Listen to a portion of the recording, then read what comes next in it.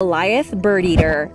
The Goliath bird eater spider is the biggest tarantula in the world. It can weigh as much as a puppy and be bigger than your hand. It is the largest in the world by size and mass. However, the record for leg size